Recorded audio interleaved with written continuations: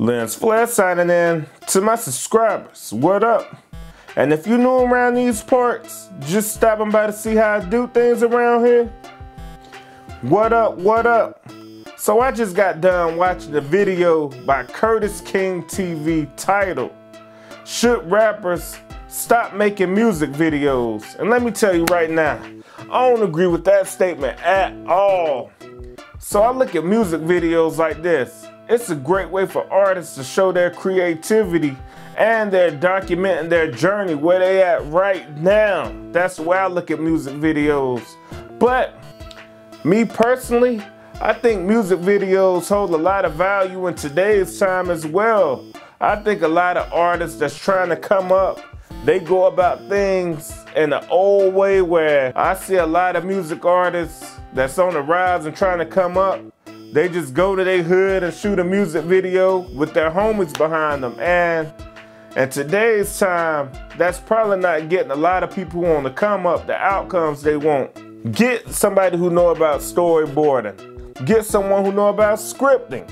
Get someone who know about wardrobes, locations, because you're trying to put yourself out in the best light possible.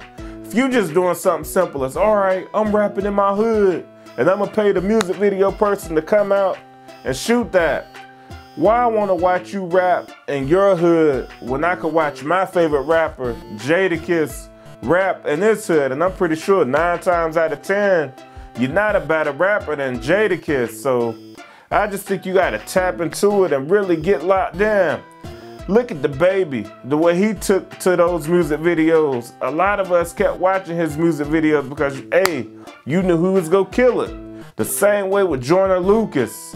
When he make a music video, I'm tapped in because I'm like, I know the storytelling in this gonna be on a different level. Like when I saw that Broski video and he just make videos that's just like on a whole different level, period. So I think those two artists if they didn't make music videos as good as they are, I don't think their growth would have happened the way it did.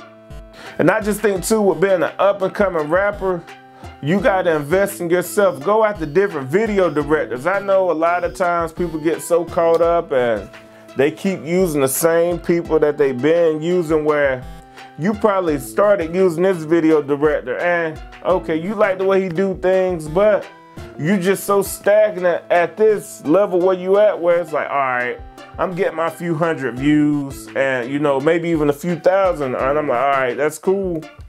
But you probably gotta reach out to these different video directors to get in their circles to see how they do things and you know, get the knowledge from other people. You might have to reach out to a YC Imaging and let them know your budget or a GT Films. These guys who just could help bring your vision to a different spot and you can learn how they do things. But when you get in the music video, I think you gotta step to the director and let them know, hey, I want five breakups so I can put this on TikTok, Instagram, YouTube Shorts, so I can put it on different platforms. You gotta let them know for it could benefit yourself. As an artist that's on the come up, you might get these high quality music videos and when you go have these shows and concerts and open mics, you might have your table in the back well, you over there after you perform and you like, yo, this is my table. I'm selling my EP, my video EP, and it's what, $30 or, you know, $25 where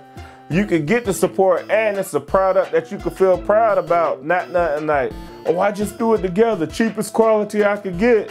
And I swindled the people out of the money. So Cause you want to always put out the best things you can put out cause this a representation of you. So, but even look in the background back there, I got that Big K.R.I.T. record back there. And I went to his pop-up shop. I don't even have a record player. I was thinking like, I want to support Big Crit. I know if I just purchase this t-shirt, I know after I wash it one, two, three, four times, it's gonna start fading and I'm gonna probably get rid of it. So I was like, you know what? let me cop this record. And he autographed it right there in front of me. And I'm like, look at that. It's back there and it's just doing its thing.